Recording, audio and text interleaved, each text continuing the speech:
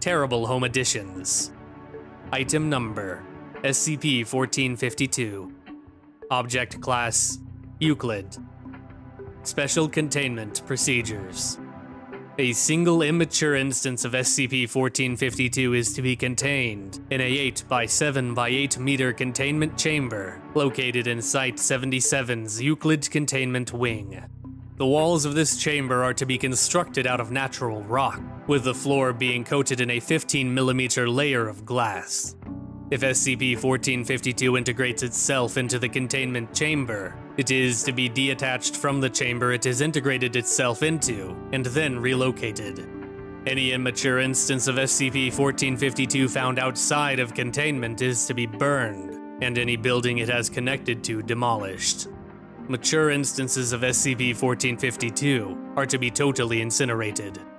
Uncontained instances of SCP-1452 are to be captured by MTF Psi-7, Home Improvement. Reports of SCP-1452 activity may also be related to SCP-1992. Description SCP-1452 is a set of residential building additions of varying appearance, with an average size of 5 by 5 by 5 meters. Instances of SCP-1452 are ambulatory and are able to move by slowly pushing themselves along the ground at a rate of 10 meters an hour. If an instance of SCP-1452 comes into contact with a vacant residential building, the SCP-1452 instances will integrate themselves into these buildings as though they were additions to the home. When this process is completed, the SCP-1452 instances will become dormant until the house becomes occupied. Attempting to enter the SCP-1452 instance prior to integration will show that it is constructed out of solid concrete or wood. The process by which SCP-1452 integrates itself into a building takes between 15 and 45 hours.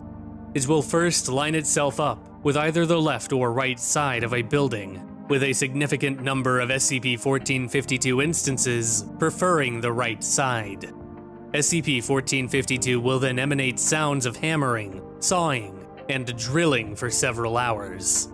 After SCP-1452 ceases to make sound, a 2 by 1 meter section of the wall SCP-1452 is contacting will dissolve, and a door will move into its place.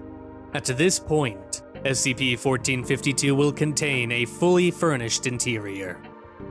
Any occupied building with an instance of SCP-1452 will slowly lose its structural integrity. In addition, any electronic item within the building will become unusable within two weeks of being within the building, unless it is stored in SCP-1452. The instance of SCP-1452 will become larger as the house becomes weaker, adding additional rooms and furnishings as time goes on. Approximately three months after this process begins, the house will collapse, and SCP-1452 will take its place. At this point, the SCP-1452 instance is considered to be mature, and the second stage of its effect will initiate. Mature instances of SCP-1452 will continuously produce immature SCP-1452s, these will integrate themselves onto any home near SCP-1452. The interior of the mature SCP-1452 will slowly fill itself in until it is a solid block of whatever its original building material was, such as wood or concrete. It will continue to produce instances of SCP-1452 until it is destroyed. SCP-1452 was originally discovered in the town of Danville Pennsylvania, after residents in a poor section of town began reporting that their homes had grown additions to themselves overnight.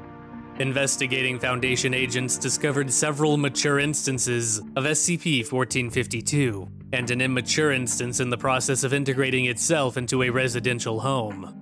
Due to the large number of SCP-1452 infested homes, the neighborhood was razed under the pretense of toxic waste in the area, SCP-1452 was classified as Euclid on September 18, 1997.